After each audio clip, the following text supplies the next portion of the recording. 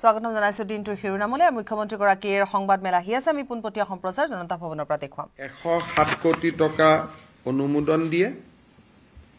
গুৱাহাটীৰ ডাউনটাউন হস্পিটেলৰ সন্মুখত নতুনকৈ এখন ফ্লাইঅভাৰ নিৰ্মাণৰ বাবে এশ এঘাৰ কোটি টকাৰ অনুমোদন দিয়ে। আৰু গুৱাহাটী চিৰিয়াখানাক নতুন ৰূপত সজাই পৰাই তুলিবৰ বাবে তিনিশ বাইষষ্ঠি কোটি টকা দুটা ইনষ্টলমেণ্টত অনুমোদন দিয়ে। অৰ্থাৎ প্ৰথম ফিফটি পাৰ্চেণ্ট কাম হ'ব তাৰ পিছত ফিফটি পাৰ্চেণ্ট তাৰমানে প্ৰথম অৱস্থাত প্ৰায় এশ সত্তৰ কোটি টকাৰ কাম হ'ব।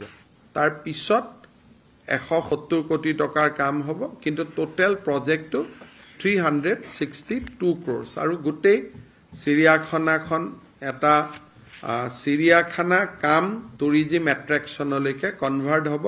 আমি আপোনালোকক পিছত প্ৰেজেণ্টেশ্যনটো ভাল কৰি আমি দেখুৱাম। ইয়াৰ লগত আজি আমাৰ কেবিনেটে এটা খুব ডাঙৰ আঁচনিক মঞ্জুৰ দিয়ে মঞ্জুৰি কৰে।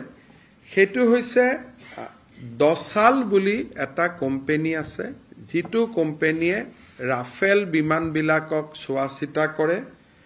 যিটো কোম্পেনীয়ে থ্ৰী ডি প্ৰিণ্টিঙৰ পৰা আৰম্ভ কৰি সমূহ নিউ জেনেৰেশ্যন টেকনলজিৰ ওপৰত কাম কৰে। তেওঁলোকে অসমত এটা aerospace and defence automotive electronic vehicle ইণ্ডাষ্ট্ৰিজৰ এটা ট্ৰেইনিং হাব ইয়াত বনাব খোজে যাৰ জৰিয়তে অসমৰ যুৱ শক্তিক aviation industry defence industry aerospace industry automotive আৰু ইলেক্ট্ৰিকেল ভেহিকেল ইঞ্জিনিয়াৰিঙলৈকে আমি আকৰ্ষণ কৰিব পাৰিম। এই গোটেই প্ৰজেক্টটোৰ বাবে দচালে আমাৰ অসমত দুশ কোটি টকা বিনিয়োগ কৰিব আৰু ৰাজ্য চৰকাৰে চল্লিছ কোটি টকা বিনিয়োগ কৰিব। আগতে এনেকুৱা এটা প্ৰকল্প আমি টাটাৰ লগত কৰি আছিলোঁ অসমৰ পলিটেকনিকবিলাকত এই আঁচনিটো চলি আছিলে।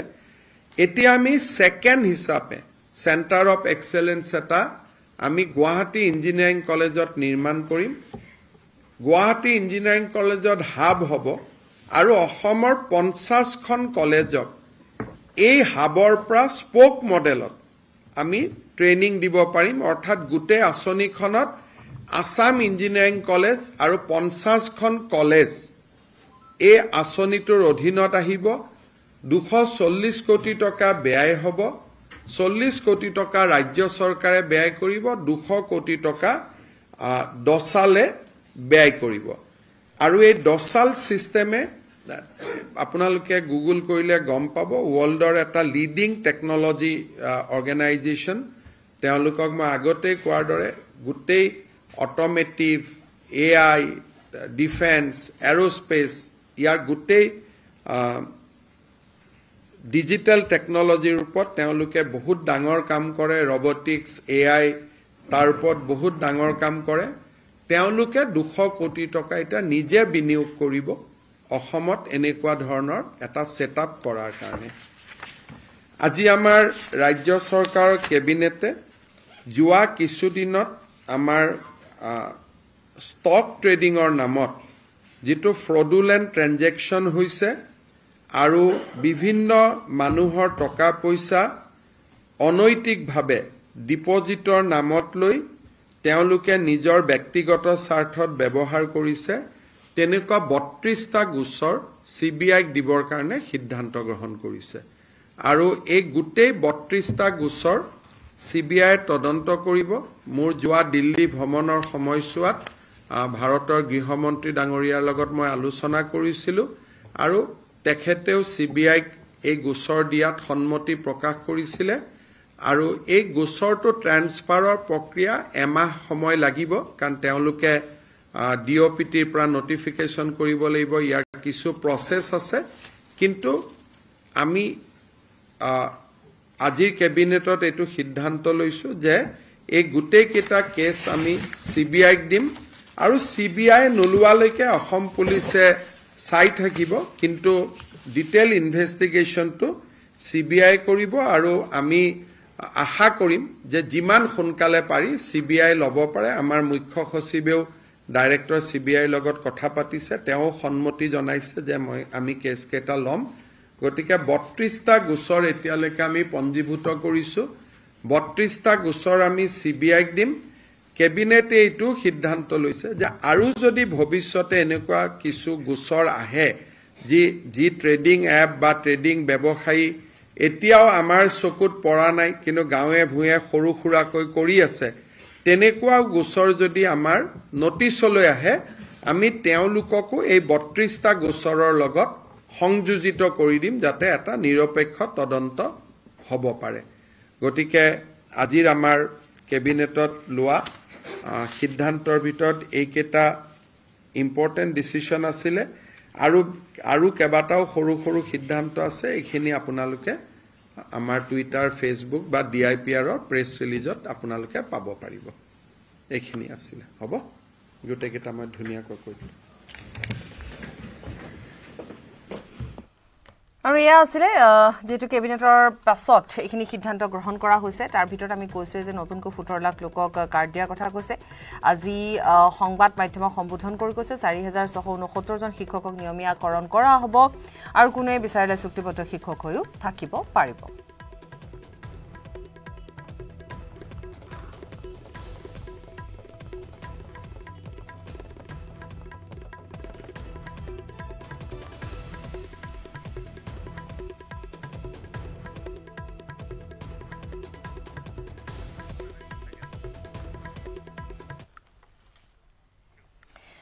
সোণাপুৰত শান্তি প্ৰতিষ্ঠা কৰাৰ চেষ্টা অব্যাহত আৰক্ষী প্ৰশাসনৰ হিংসা বিয়পাব খোজা অবৈধ দখলকাৰীক দমন আৰক্ষী। ঘটনাস্থলীত এ আই ডি এফৰ দল উপস্থিত হোৱাত ক্ষুব্ধ হৈ উঠিছে খিলঞ্জীয়া লোকসকল। এ আই ডি এফ সজাতি দলক আঠ বাটৰ পৰা উভতাই পঠিয়ালে একাংশ খিলঞ্জীয়া লোকে।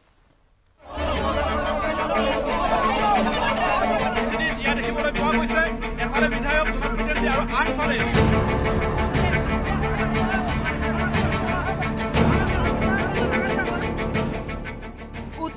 সোণাপুৰত শান্তি প্ৰতিষ্ঠাত ব্যস্ত প্ৰশাসন।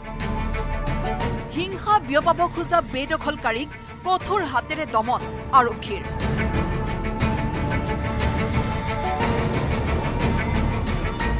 বেদখলকাৰীক উচতনি যোগাবলৈ অহা ৰাজনৈতিক শক্তিৰ প্ৰৱেশতো বাধা খিলঞ্জীয়াৰ।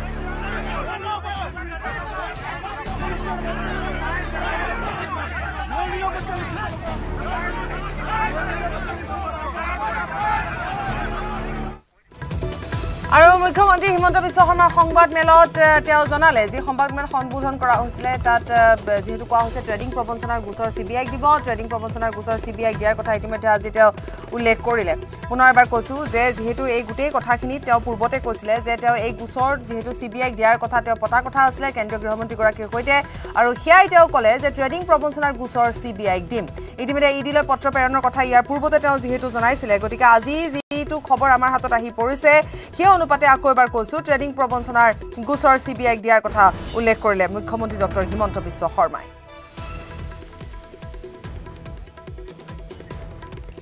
পুনৰ এবাৰ আকৌ এইখিনিতে উল্লেখ কৰিছো যিহেতু এই গোটেই ট্ৰেডিং প্ৰবঞ্চনাৰ গোটেই কাণ্ডটোৰ সন্দৰ্ভত ইতিমধ্যে মুখ্যমন্ত্ৰীগৰাকীয়ে তেওঁ অতি সক্ৰিয় ৰূপত আচলতে এই মুহূৰ্তত যদি আমি কওঁ যে তেওঁ বাৰম্বাৰ এই কথাখিনি ট্ৰেডিং প্ৰবঞ্চনাৰ এই গোটেই বত্ৰিশটা গোচৰ ৰুজু হৈছে বুলি তেওঁ উল্লেখ কৰিছে আৰু গোটেই বিষয়টোলৈও যথেষ্ট গুৰুত্ব প্ৰদান কৰিছে।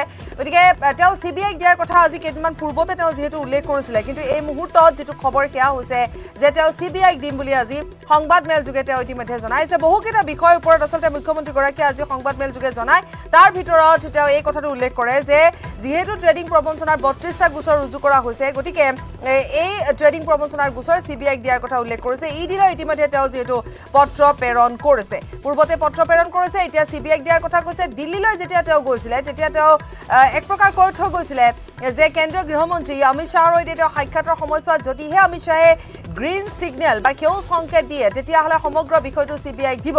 গতিকে আজি এই সংবাদ মেল যোগে এই কথাখিনি উল্লেখ কৰিছে। তেওঁ আজিৰ দিনটো দেখিবলৈ পোৱা গৈছিলে বিশেষকৈ সুমিত তাৰ্কিকক কেনেকৈ জেলত ৰখা হৈছে কেনেকৈ পোৱা গ'ল কেনেকৈ তেওঁক তেওঁলোকক ৰাজআতিষ্ঠ দিয়া হৈছে এই গোটেই কথাখিনি সন্দৰ্ভত তেওঁ উত্তৰ দিছিলে। তেওঁ উল্লেখ কৰিছিলে যে এনেধৰণে কিয় হ'বলৈ পাইছে তাৰ ওপৰতো তদন্ত হ'ব। সংবাদ মাধ্যমৰ কথাও তেওঁ উল্লেখ কৰিছিলে। কিন্তু এই মুহূৰ্তৰ খবৰ হৈছে যে এই গোটেই ট্ৰেডিং প্ৰবঞ্চনাৰ গোচৰ চি বি আইক দিয়াৰ কথা উল্লেখ কৰিছে মুখ্যমন্ত্ৰী ডক্টৰ হিমন্ত বিশ্ব শৰ্মাই। ট্ৰেডিং প্ৰবঞ্চনাৰ বত্ৰিছটা গোচৰ ৰুজু কৰা হৈছে। আটাইকেইটা গোচৰৰ তদন্ত চি বি আইক দিয়া হ'ব। বত্ৰিছটা গোচৰ ৰুজু কৰা হৈছে আটাইকেইটা গোচৰ চি বি আইক দিয়া হ'ব বুলি ইতিমধ্যে তেওঁ উল্লেখ কৰিছে। আজিৰ দিনটোত অত্যন্ত তেওঁক এই গোটেই বিষয়টোলৈ অতি গুৰুত্ব সহকাৰে তেওঁ লোৱা দেখিবলৈ পোৱা গ'ল। আৰু সেই অনুপাতে তেওঁ ইতিমধ্যে কৈছে যে সমগ্ৰ ট্ৰেডিং প্ৰবঞ্চনা কাৰণ ৰাজ্যত যি ধৰণে এতিয়া ট্ৰেডিং প্ৰবঞ্চনা হৈ আছে কেনেকৈ কিমান কিমান লক্ষ লক্ষ টকা ইয়াত লোকে ইনভেষ্ট কৰিছে বিনিয়োগ কৰিছে প্ৰবঞ্চনাৰ সন্মুখীন হৈছে। আৰু যেতিয়াই ডি বি ষ্টক আহিছিলে তাৰপিছত লাহে লাহে লাহে লাহে ইটোৰ পিছত সিটোকৈ দেখিবলৈ পোৱা গ'ল যে বহুৰ নাম সাঙুৰ খাই উঠিলে বিশাল আহিল চুমি তাৰ্কিক মাইনাও ব্ৰহ্ম এনেধৰণে তাৰোপৰি স্বপ্ননীল ঠিক তেনেধৰণে কংগ্ৰেছৰো এগৰাকী যুৱ নেতা। গতিকে গোটেই কথাবোৰ যেতিয়া লাহে লাহে পোহৰলৈ আহিছে। এতিয়া মুখ্যমন্ত্ৰীগৰাকীয়ে যথেষ্ট তেওঁ কৈছে যে তদন্ত প্ৰক্ৰিয়া চলি আছিলে। গতিকে তাৰ মাজত তেওঁ আচলতে এই গোটেই বিষয়টোলৈ আজিৰ দিনটোত তেওঁ যি ধৰণে এ, অতিকৈ তৎপৰ হৈ পৰিছে অতিকৈ কঠোৰ হৈ পৰিছে বুলি ক'ব পাৰি। গতিকে চি বি আই ইতিমধ্যে সন্মতি প্ৰদান কৰাৰ কথা তেওঁ উল্লেখ কৰিছে। চি বি আই তদন্তৰ কথা মুখ্যমন্ত্ৰীগৰাকীয়ে কৈছিল আৰু আজি এই কথা উল্লেখ কৰিছে যে চি বি আই সন্মতি প্ৰকাশ কৰিছে। কাৰণ ৰাজ্যত ইমান কোটি টকাৰ যিহেতু প্ৰবঞ্চনা হৈছে ট্ৰেডিং প্ৰবঞ্চনা হৈছে। গতিকে তেনে ক্ষেত্ৰত চি বি আই ইতিমধ্যে সন্মতি প্ৰদান কৰাৰ কথা মুখ্যমন্ত্ৰীগৰাকীয়ে উল্লেখ কৰিছে। এই মুহূৰ্তত তপনৰ সৈতে আমি সংযুক্ত হৈছো। গতিকে তপনে আমাক এই সন্দৰ্ভত আৰু অধিক জনাব। তপন। পাপৰি মুখ্যমন্ত্ৰীয়ে আজি পুৱাই এটা ইংগিত দিছিল কেবিনেটত এটা আমি সাহসী সিদ্ধান্ত ল'ম এই গোটেই ট্ৰেডিং প্ৰবঞ্চনাৰ গোচৰক লৈ। আৰু ৰাজ্যিক কেবিনেটত কিছু সময় পূৰ্বে ৰাজ্য চৰকাৰে এটা ডাঙৰ সিদ্ধান্ত গ্ৰহণ কৰিছে যে গোটেই যি ট্ৰেডিং প্ৰবঞ্চনাৰ যিমান গোচৰ আছে এতিয়ালৈকে বত্ৰিশটা গোচৰ ৰুজু কৰা হৈছে গোটেই অসম জুৰি। এই আটাইকেইটা গোচৰৰ তদন্তৰ দায়িত্ব চি বি আইক দিয়া হ'ব। ইতিমধ্যে কিছুদিন পূৰ্বে মুখ্যমন্ত্ৰীয়ে যেতিয়া দিল্লীলৈ গৈ অমিত শ্বাহক সাক্ষাৎ কৰিছিল গৃহমন্ত্ৰীৰ সৈতেও কথা পাতিছিল চি বি আইৰ বিষয়ববীয়াৰ সৈতেও কথা পাতিছিল। চি বি আই ইতিমধ্যে সন্মতি প্ৰকাশ কৰিছে গোচৰটোৰ তদন্ত কৰিবলৈ। কিন্তু গোটেই গোচৰ প্ৰক্ৰিয়া প্ৰক্ৰিয়াটো হস্তান্তৰ কৰিবলৈ গোটেই প্ৰক্ৰিয়াটোত প্ৰায় এমাহমান সময় লাগিব। আৰু তাৰ পিছত চি বি আইয়ে ট্ৰেডিং প্ৰবঞ্চনাৰ যি প্ৰায় বিশ হাজাৰ কোটি টকামানৰ প্ৰবঞ্চনা হ'ব মুঠ আটাইকেইটা গোচৰ যদি আমি যোগ কৰোঁ মিলাওঁ গোটেই তদন্ত কৰিব চি বি আইয়ে। পাপৰি নিশ্চয়। অৰ্থাৎ যি ধৰণে আচলতে ভবা হৈছিলে বা মুখ্যমন্ত্ৰীগৰাকী যেতিয়া দিল্লীলৈ উৰা মাৰিছিলে তেতিয়াতে এটা কথা কৈ গৈছিলে যে গৃহমন্ত্ৰীক সাক্ষাৎ কৰিব তেওঁ যদি গ্ৰীণ ছিগনেল দিয়ে তেতিয়াহ'লে গোটেই বিষয়টোৱে চি বি আইক দিয়া হ'ব। আটাইকেইটা গোচৰ যিকেইটা গোচৰ এতিয়ালৈকে বত্ৰিছটা গোচৰৰ কথা কোৱা হৈছে আৰু চি বি আই সন্মতি প্ৰদান কৰাৰ কথা কোৱা হৈছে। অৰ্থাৎ তেওঁ অতি কঠোৰ স্থিতি গ্ৰহণ কৰিছে। ডেফিনেটলি পাপৰি মুখ্যমন্ত্ৰীয়ে প্ৰথমৰ পৰা এই কথাটো কৈ আছে যে ট্ৰেডিং প্ৰবঞ্চনাৰ যিকেইটা ঘটনা পোহৰলৈ আহিছে এই ঘটনাসমূহত মুখ্যমন্ত্ৰী আৰম্ভণিৰ পৰাই কঠোৰ স্থিতি গ্ৰহণ কৰিছে। আনকি আমি যদি কওঁ যে মুখ্যমন্ত্ৰীৰ তৎপৰতাতেই আচলতে এই গোটেই ট্ৰেডিং প্ৰবঞ্চনাৰ কাণ্ড পোহৰলৈ আহিছে যেতিয়া ৱাই বি ৱাইৰ অনিৰাম বসুমতাৰীৰ গেংটোৱে মুখ্যমন্ত্ৰীক এক কোটি টকা বান সাহাৰ্য পুঁজিলৈ দিয়াৰ কাৰণে যোগাযোগ কৰিছিল সেই তেতিয়াই মুখ্যমন্ত্ৰীৰ এই সন্দেহ হৈছিল যে ঘটনাটো বেলেগ। তাৰ পিছৰ পৰাই মুখ্যমন্ত্ৰীয়ে ৱাই বিৰ তদন্তৰ আহ, নিৰ্দেশ দিছিল আৰু তাৰ পিছতেই সমগ্ৰ ঘটনা পোহৰলৈ আহে। তাৰ পিছত এটাৰ পিছত এটা। বিশালৰ পৰা ৰঞ্জিত কাকতিৰ পৰা মাইনা ব্ৰহ্মলৈকে অনিৰাম বসুমতাৰীলৈকে এটাৰ পিছত এটা। ৰাজ্যৰ ইমূৰৰ পৰা সিমূৰলৈ আপোনাৰ ট্ৰেডিঙৰ প্ৰবঞ্চনাৰ কাহিনী পোহৰলৈ আহিছে। আৰু মুখ্যমন্ত্ৰীয়ে আৰম্ভণিতেই কৈছিল যে প্ৰয়োজন হলে ইডিক প্ৰয়োজন হলে আয়কৰক প্ৰয়োজন হলে চি বি আইকো তদন্তৰ দায়িত্ব দিয়া হ'ব। আৰু আৰম্ভণিৰ পৰাই মুখ্যমন্ত্ৰীয়ে মুখ্যমন্ত্ৰীৰ নিৰ্দেশত D G P G P সিঙৰ নিৰ্দেশত ৰাজ্যজুৰি আৰক্ষীয়ে কঠোৰ স্থিতি গ্ৰহণ কৰি ট্ৰেডিঙৰ প্ৰবঞ্চনাৰ লগত জড়িত আটাইকেইটা গোচৰত যথেষ্ট তৎপৰতাৰে কাম কৰিছে আৰু বহু লোকক ইতিমধ্যে গ্ৰেপ্তাৰ কৰিছে বহু লোক ইতিমধ্যে আৰক্ষীৰ জালতো পৰিছে। আমি জনাত বিশাল ফুকনৰ বিৰুদ্ধে যথেষ্ট তৎপৰতাৰে তদন্ত হৈ আছে। ৰঞ্জিত কাকতিৰ বিৰুদ্ধে বহুত একেবাৰে দুশ আঢ়ৈশৰো অধিক এফ আই আৰ পৰিছে। স্বপ্ননীল দাসৰ প্ৰসংগত বহুত ধৰণৰ তথ্য আছে চৰকাৰৰ হাতত। ৱাই বি আৰটো বহুত ধৰণৰ তথ্য প্ৰমাণ আৰক্ষীৰ হাতত আছে। আজাৰা বঙাইগাঁও ধুবুৰী সকলোতে কৰিমগঞ্জতো বিশাল পৰিমাণৰ টকাৰ লুণ্ঠন হৈছে ট্ৰেডিং কেলেংকাৰীত। এই সকলোবোৰ বিষয় অতি কঠোৰভাৱে অনুসন্ধান কৰি থকা হৈছে। আৰু অৱশেষত এই যিহেতু এটা হিউজ এমাউণ্টত প্ৰায় বিশ হাজাৰ কোটি টকা হ'ব বা বেছিও হ'ব পাৰে এই গোটেই তদন্তটো কৰিবলৈ চি বি আইক দায়িত্ব দিয়াৰ কাৰণে ৰাজ্যিক কেবিনেটত কিছু সময় পূৰ্বে সিদ্ধান্ত লোৱা হৈছে। পাপৰি। ধন্যবাদ জনাইছো।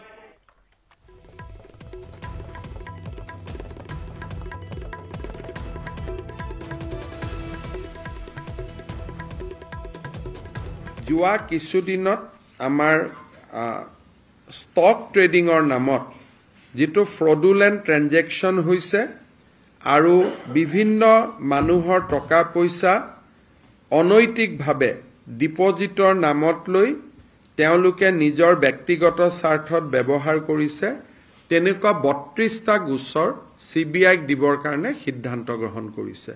আৰু এই গোটেই বত্ৰিশটা গোচৰ চি বি আইয়ে তদন্ত কৰিব। মোৰ যোৱা দিল্লী ভ্ৰমণৰ সময়ছোৱাত ভাৰতৰ গৃহমন্ত্ৰী ডাঙৰীয়াৰ লগত মই আলোচনা কৰিছিলোঁ আৰু তেখেতেও চি বি আইক এই গোচৰ দিয়াত সন্মতি প্ৰকাশ কৰিছিলে আৰু এই গোচৰটো ট্ৰেন্সফাৰৰ প্ৰক্ৰিয়া এমাহ সময় লাগিব কাৰণ তেওঁলোকে ডি অ' পি টিৰ পৰা নটিফিকেশ্যন কৰিব লাগিব ইয়াৰ কিছু প্ৰচেছ আছে। কিন্তু আমি আজিৰ কেবিনেটত এইটো সিদ্ধান্ত লৈছো যে এই গোটেইকেইটা কেছ আমি চি বি আইক দিম। আৰু চি বি আই নোলোৱালৈকে অসম পুলিচে চাই থাকিব কিন্তু ডিটেইল ইনভেষ্টিগেশ্যনটো চি বি আই কৰিব আৰু আমি আশা কৰিম যে যিমান সোনকালে পাৰি চি বি আই ল'ব পাৰে। আমাৰ মুখ্য সচিবেও ডাইৰেক্টৰ চি বি আইৰ লগত কথা পাতিছে। তেওঁ সন্মতি জনাইছে যে মই আমি কেছকেইটা ল'ম। গতিকে বত্ৰিশটা গোচৰ এতিয়ালৈকে আমি পঞ্জীভূত কৰিছো। বত্ৰিশটা গোচৰ আমি চি বি আইক দিম। কেবিনেটে এইটো সিদ্ধান্ত লৈছে যে আৰু যদি ভৱিষ্যতে এনেকুৱা কিছু গোচৰ আহে যি যি ট্ৰেডিং এপ বা ট্ৰেডিং ব্যৱসায়ী এতিয়াও আমাৰ চকুত পৰা নাই কিন্তু গাঁৱে ভূঞে সৰু সুৰাকৈ কৰি আছে তেনেকুৱা গোচৰ যদি আমাৰ নটিচলৈ আহে আমি তেওঁলোককো এই বত্ৰিশটা গোচৰৰ লগত সংযোজিত কৰি দিম যাতে এটা নিৰপেক্ষ তদন্ত হ'ব পাৰে। গ্ৰেপ্তাৰৰ পাছতো চুমিক লৈ শেষ হোৱা নাই বিতৰ্ক। গ্ৰেপ্তাৰৰ পাছত লকআপত থাকিব লগা হোৱা চুমি আৰু তাৰ্কিকে টেলিভিছন চেনেলত আত্মপক্ষ সমৰ্থনৰ সুযোগ লোৱাক লৈ তদন্তৰ ঘোষণা কৰিছে মুখ্যমন্ত্ৰী ডঃ হিমন্ত বিশ্ব শৰ্মাই। সুমি তাৰ্কিকক ৰাজ আতিথ্য মুখ্যমন্ত্ৰী হতচকিত।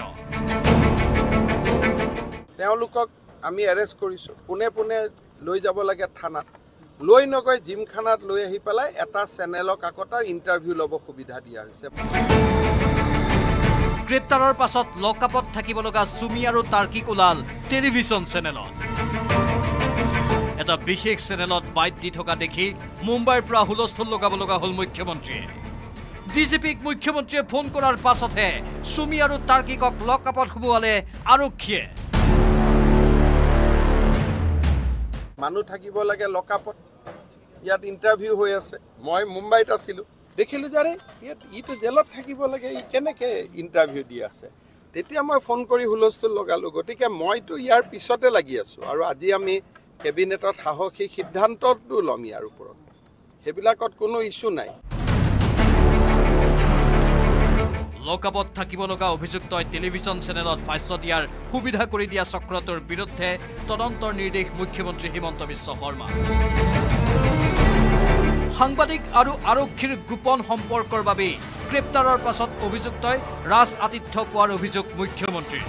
একাংশ সাংবাদিক আৰু আৰক্ষীৰ সম্পৰ্কক চিন্তনীয় আখ্যা দিলে মুখ্যমন্ত্ৰীয়ে। পুলিচ আৰু সাংবাদিকৰ সম্পৰ্কটো এইটো চিন্তনীয়। তেওঁলোকক আমি এৰেষ্ট কৰিছোঁ। পোনে পোনে লৈ যাব লাগে থানাত।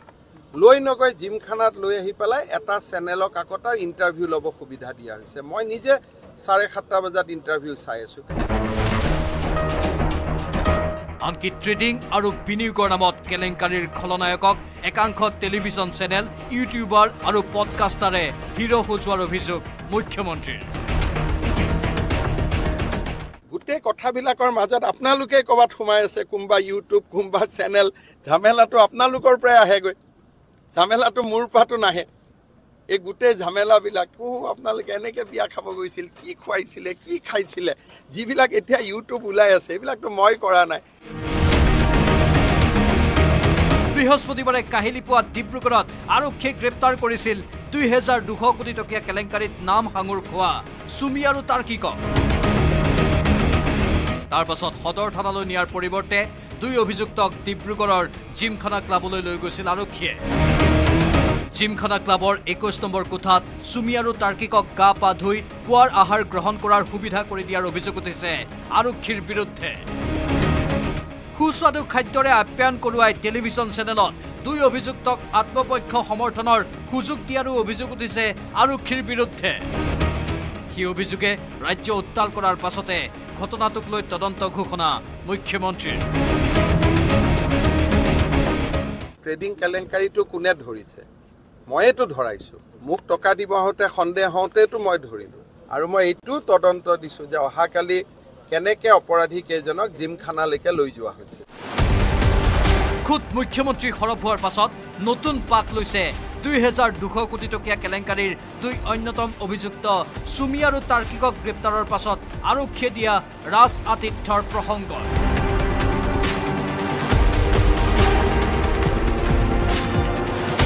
Priyabrata Gogoi report News Eighteen Assam North East.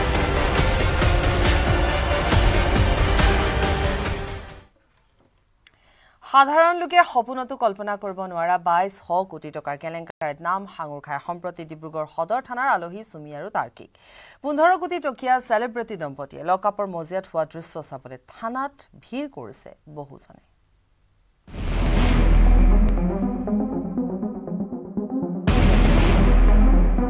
ক'ত পালে ইমান ধন? চুমিক লগ পাই এবাৰ সুধি চোৱাৰ মন।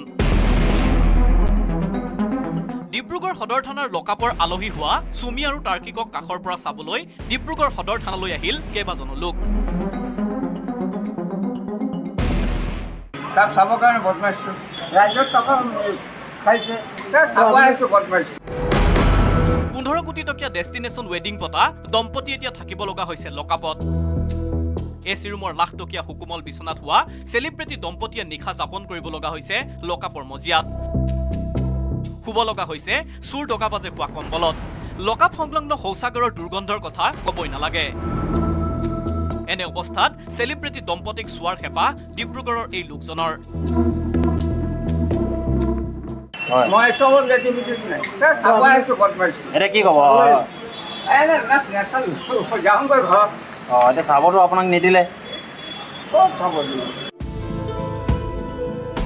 বাইশ কোটি টকা লুণ্ঠনৰ অভিযোগত গ্ৰেপ্তাৰ হোৱা চুমি আৰু তাৰ্কিকক কঠোৰ শাস্তি বিহাৰ আহ্বান এই লোকজনৰ। চি বি আই লগাই দিয়ক চি বি আই চব পোষ্টপাছ কৰিলে ওলাই যাব তাত। যদি শাস্তি দিয়ক কোৰ্টত লৈ যাওক হয়। তাত চি বি আই পোষ্টপাছ কৰিব। আৰু ক'ত কি ৰাখিছে নাৰাখিছে?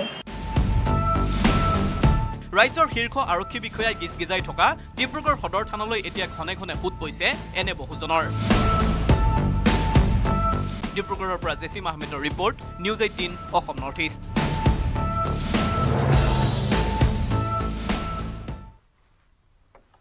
চুমিক লৈ অন্ত নাই বিতৰ্কৰ। পোন্ধৰ কোটি টকীয়া ডেষ্টিনেশ্যন ৱেডিং পতাৰ দৰে ৰঙাঘৰৰ আলহী হওঁতেও সৰ্বত্ৰ চুমিৰে চৰ্চা। আনকি লকআপৰ ভিতৰত চুমিৰ ফটো ভাইৰেল হোৱাৰ পাছত বিপদত পৰিছে ডিব্ৰুগড় আৰক্ষী। কংগ্ৰেছৰ ছত্ৰছায়াত অবৈধ ট্ৰেডিং চলাৰ অভিযোগ ইফালে উত্থাপন কৰিছে মন্ত্ৰী পীয়ুষ হাজৰিকাই। ট্ৰেডিং প্ৰবঞ্চনাত কংগ্ৰেছ জড়িত হৈ থকাৰ অভিযোগ মন্ত্ৰীগৰাকীৰ। বিধায়ক আসিফ মহম্মদ নাজাৰাৰ ভাড়াঘৰৰ পৰা স্বপ্নলীলে মেলিছিল হেনো লুণ্ঠনৰ জাল। যুৱ কংগ্ৰেছৰ সভাপতি জুবেইৰ আনমৰ নেতৃত্বত অনলাইন ট্ৰেডিং কেলেংকাৰীৰো অভিযোগ।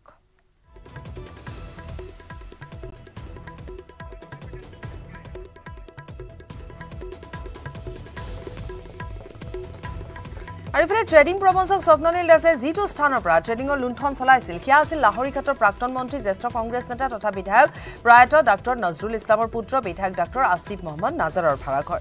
কংগ্ৰেছ নেতাজনৰ ভাড়াঘৰতে স্বপ্ননীলে অবৈধ ট্ৰেডিঙৰ লুণ্ঠনৰ জাল মেলিবলৈ সক্ষম হৈছিল ইফালে অনলাইন ট্ৰেডিং কেলেংকাৰীত জড়িতসকল এজন এজনকৈ ধৰা পৰাৰ সময়তে এই ট্ৰেডিং কেলেংকাৰীত কংগ্ৰেছ দলৰ একাংশ নেতা কৰ্মী জড়িত থকাৰ বিস্ফোৰক তথ্য পোহৰলৈ আহিছে। আনকি কংগ্ৰেছৰ ছত্ৰছায়াতে এই অবৈধ ট্ৰেডিং চলি থকা বুলি অভিযোগ উত্থাপিত হৈছে। শেহতীয়াকৈ কাছাৰৰ বাখৰশালৰ চাকিৰ এণ্ড কোম্পানী প্ৰায় চাৰিশ কোটি টকা লুণ্ঠনৰ তথ্য পোহৰলৈ অহাৰ পিছতে এই সমগ্ৰ ঘটনা যে কংগ্ৰেছে সাৰ পানী যোগাই আহিছিল সেয়াও স্পষ্ট হৈ পৰিছে। অনলাইন ট্ৰেডিঙৰ নামত প্ৰবঞ্চনা কৰি সাধাৰণ ৰাইজৰ পৰা কোটি কোটি টকা সৰকাই নিয়া কৰিমগঞ্জৰ বাখৰশাল এলেকাৰ মহম্মদ চাকিৰ নামৰ যুৱকজন প্ৰদেশ যুৱ কংগ্ৰেছৰ সভাপতি জুবেৰ আনম মজুমদাৰৰ অতিকৈ ঘনিষ্ঠ। এই চাকিৰে বাখৰশালত চাকিৰ ট্ৰেডিং ক্লাছেছ নামৰ শিক্ষা প্ৰতিষ্ঠান খুলি ৰাইজক প্ৰশিক্ষণ দিছিল। এই চাকিৰৰ সৈতে যুৱ কংগ্ৰেছৰ ৰাজ্যিক সভাপতি জুবেৰ আনামে বিগত লোকসভা নিৰ্বাচনত দলীয় টিকট লাভ কৰাৰ আশাত বৰাকলৈ আহি গাড়ীত উঠি ঘূৰা ফুৰা কৰিছিল। লগতে চাকিৰ এণ্ড কোম্পানী কেইবাজনো যুৱকক যুৱক কংগ্ৰেছৰ বিভিন্ন পদতো অধিষ্ঠিত কৰা হৈছিল। চাৰিশ কোটি টকা লুণ্ঠন কৰি সম্প্ৰতি পলাতক চাকিৰ এণ্ড কোম্পানীৰ সদস্যসকল। লগতে পলাতক অৱস্থাত আছে যুৱ কংগ্ৰেছী নেতা জুবেৰ আনামো। মুন্না ওৰফে মুজাক্কিৰ আহমেদ নাৰ আন এজন যুৱক নামৰ আন এজন যুৱক চাকিৰৰ অন্যতম সহযোগী। এওঁৰো আছে। প্ৰত্যেক যুৱ কংগ্ৰেছৰ সভাপতি জুবেৰ আনাম মজুমদাৰৰ সৈতে সু সম্পৰ্ক। মন্ত্ৰী পীযুষ হাজৰিকাই এই সন্দৰ্ভত নিজৰ প্ৰতিক্ৰিয়া প্ৰকাশ কৰি ট্ৰেডিং প্ৰবঞ্চনাৰ এই সমগ্ৰ বিষয়টোত কংগ্ৰেছ জড়িত হৈ থকা বুলি তেওঁ মন্তব্য কৰি কয় যে তেওঁ কয় যে তদন্তত সকলো ওলাই পৰিব।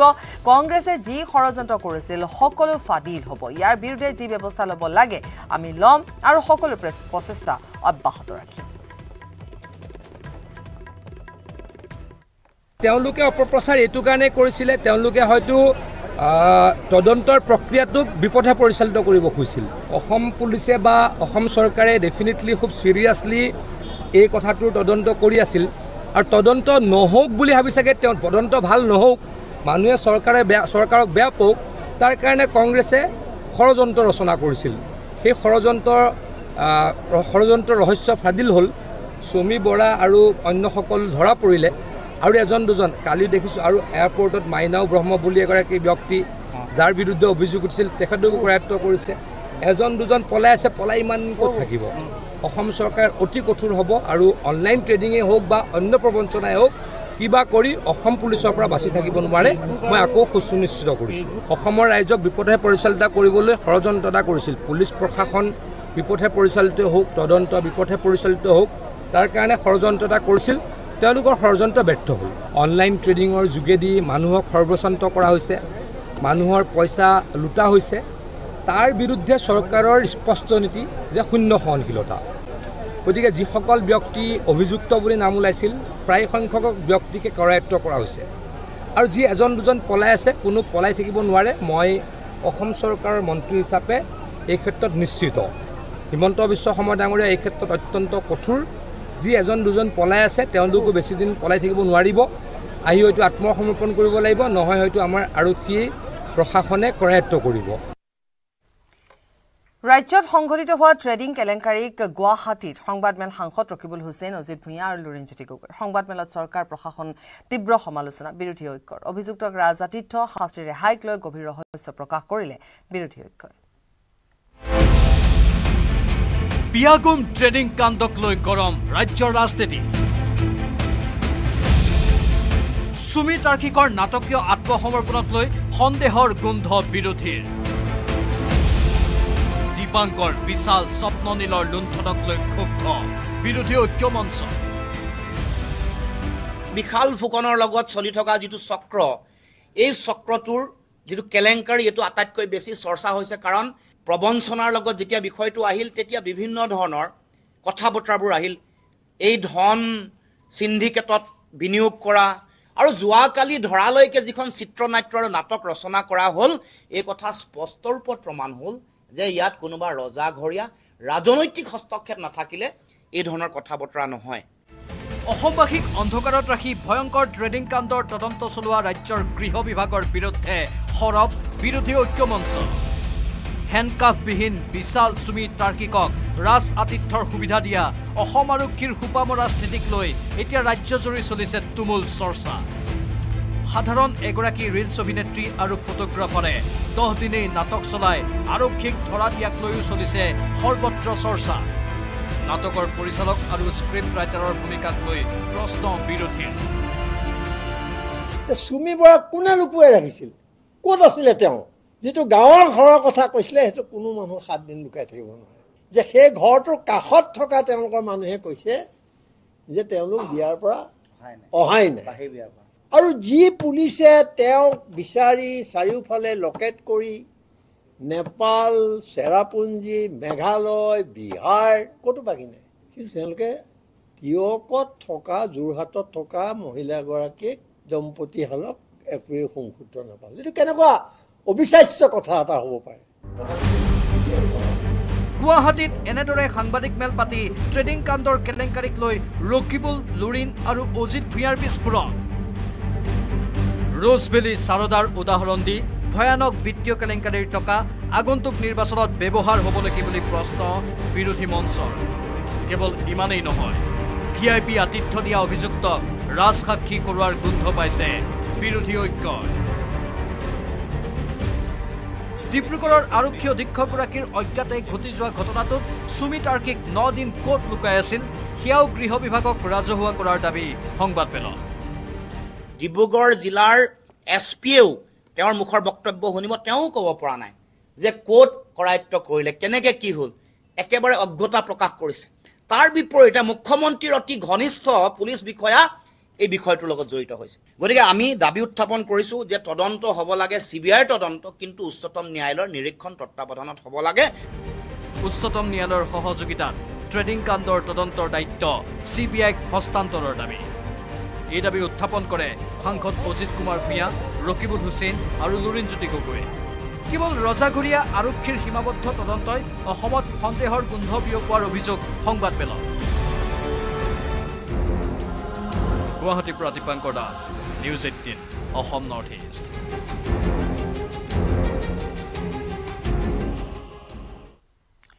আৰু এতিয়া চাই লওঁ আহক সংবাদ শিৰোনাম। হেডলাইনছ আগবঢ়াইছে ৰয়েল গ্ল'বেল ইউনিভাৰ্চিটি পঢ়িব অসম বাঢ়িব অসম।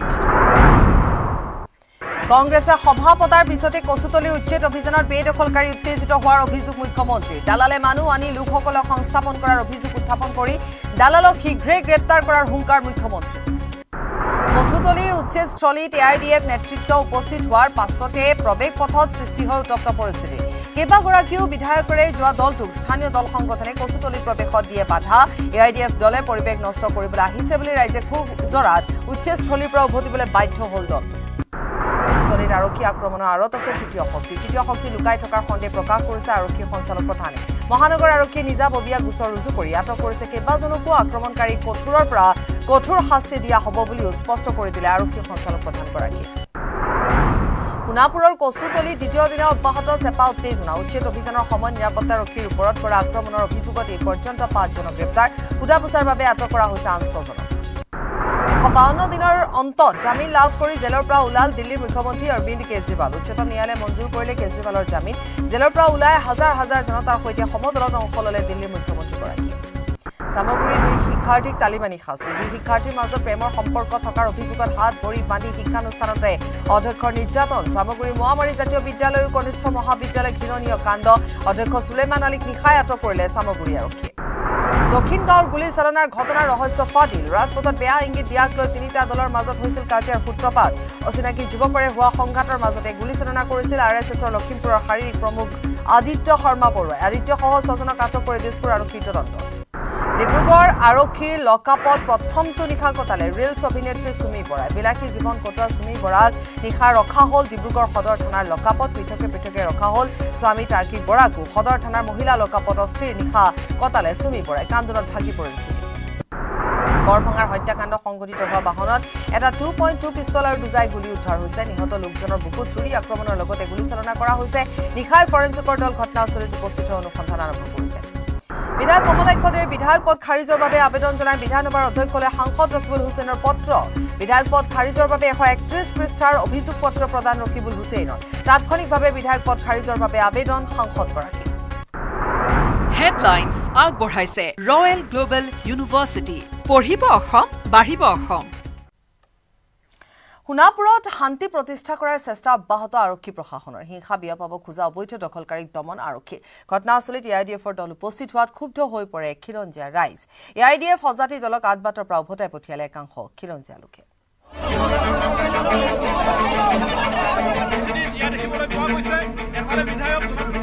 আনফালে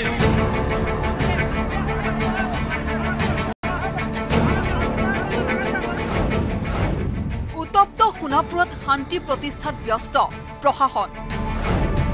হিংসা বিয়পাব খোজা বেদখলকাৰীক কঠোৰ হাতেৰে দমন আৰক্ষীৰ।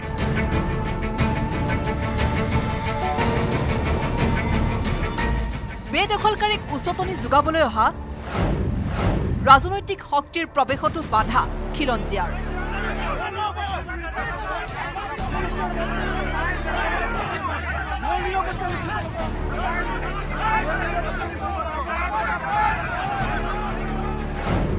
কচুতলিত আই ইউ ডি এফৰ সজাতি দল উপস্থিত হোৱাৰ পিছতেই প্ৰতিবাদ মুখৰ খিলঞ্জীয়া।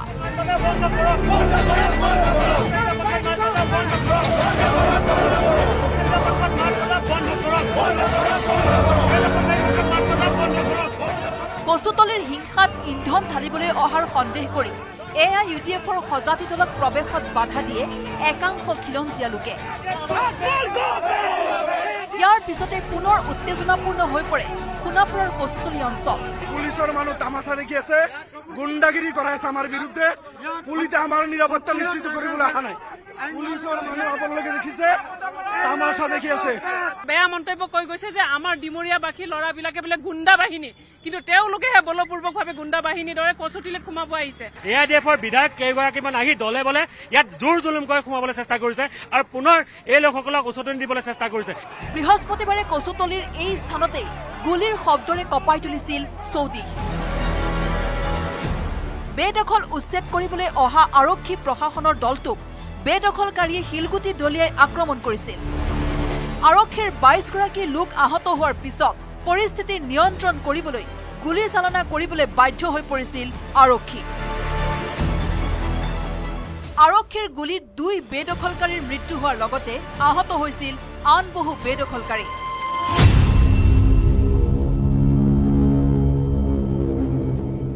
বেদখল উচ্ছেদৰ পঞ্চম দিনা হঠাতে কচুতলি অঞ্চলত হিংসাত্মক ঘটনাই গা কৰি উঠাৰ পিছতেই ৰাজ্যত সংখ্যালঘুৰ পক্ষে থিয় হোৱাসকল প্ৰতিক্ৰিয়াত মুখৰ হৈ পৰিছে।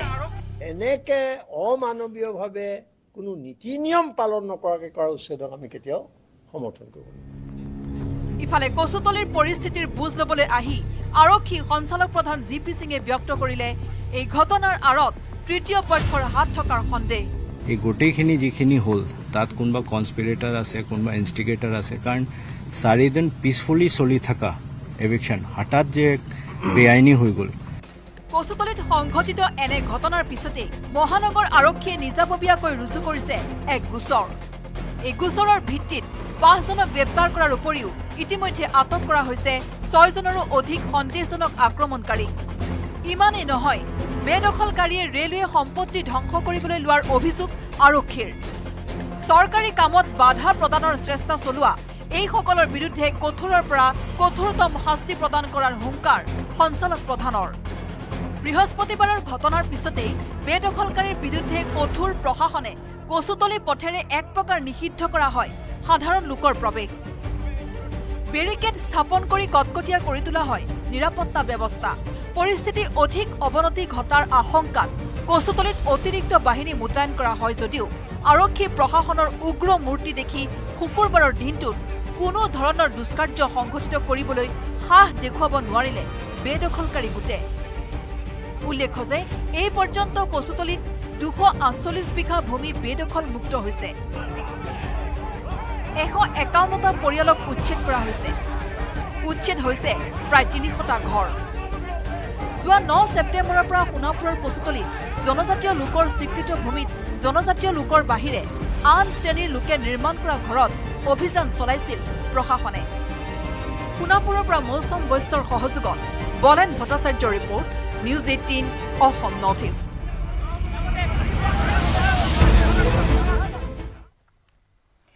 সামাজিক মাধ্যমত এতিয়া আঠ লাখ টকাক লৈ চৰ্চা। জাতীয় সংগঠনৰ নেতাৰ ফেচবুকতো আঠ লাখ টকাৰ প্ৰসংগ। কোনোবাই লিখিছে আঠ লাখ টকা মানে কি? চৰ্চা হৈছে এখন নিমন্ত্ৰণী পত্ৰক লৈ। শিৱসাগৰৰ ত্ৰিছ সংগঠনক কিয় স্থিতি স্পষ্ট কৰিবলৈ ক'লে মৰাণৰ জাতীয় জনগোষ্ঠীয় সংগঠনে? মিয়াৰ নামত আঠ লাখ টকা। কোনে পালে কোনে দিলে? সামাজিক মাধ্যমত আঠ লাখ টকাৰ চৰ্চা। জাতীয় সংগঠনৰ নেতাৰ ফেচবুকতো আঠ লাখ টকাৰ কথা। হঠাৎ ফেচবুকৰ ৱালে ৱালে আঠ লাখ টকাৰ প্ৰসংগ।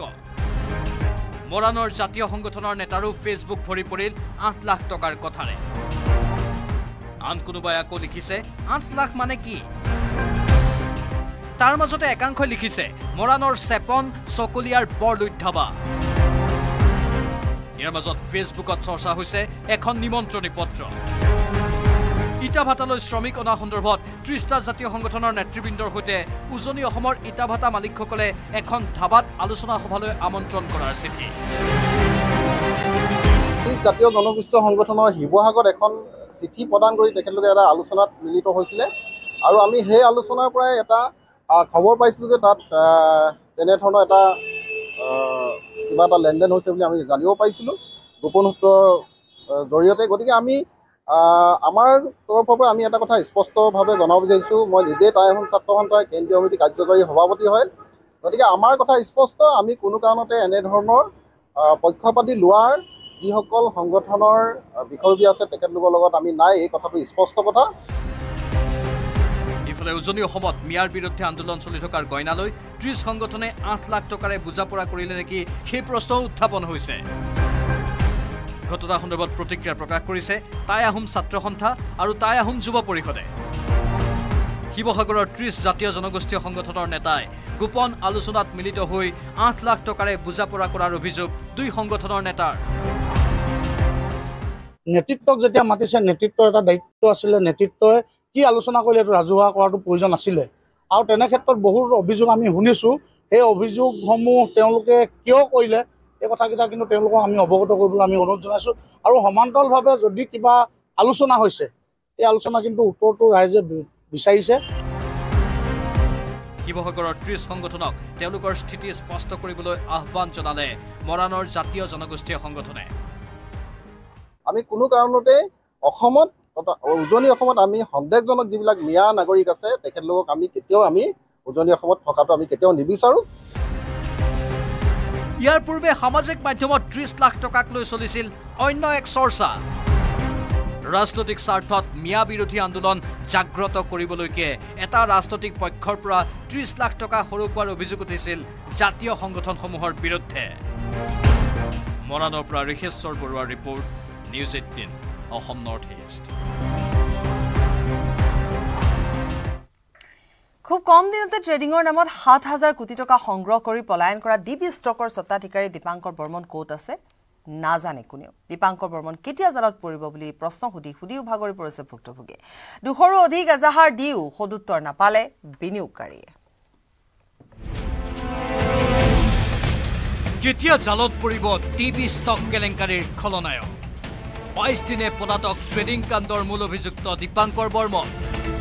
ক'ত আত্মগোপন দীপাংকৰ বৰ্মনৰ।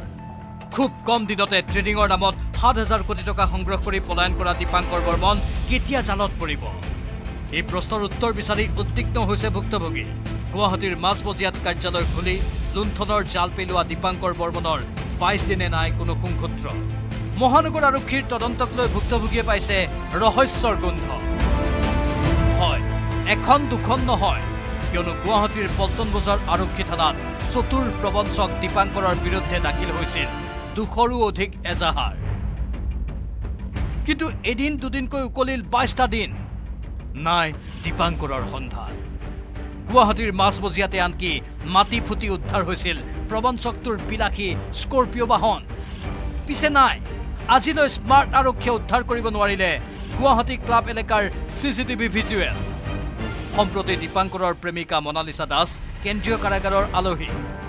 বিয়াগুম জালিয়াতিৰ নিয়ম মাফিক তদন্ত আৰু আৰক্ষীৰ সোপাধিলা ব্যৱস্থাৰ বাবেই দীৰ্ঘদিনে আত্মগোপন কৰাৰ সুযোগ লাভ কৰিছে দীপাংকৰ বৰ্মনে। আৰক্ষীক আৰু কিমান দিন লাগিব বতাহত মিলি যোৱা ধুৰন্ধৰ দীপাংকৰক বিচাৰি উলিয়াবলৈ। আহিল মুখ্যমন্ত্ৰীৰো প্ৰতিক্ৰিয়া।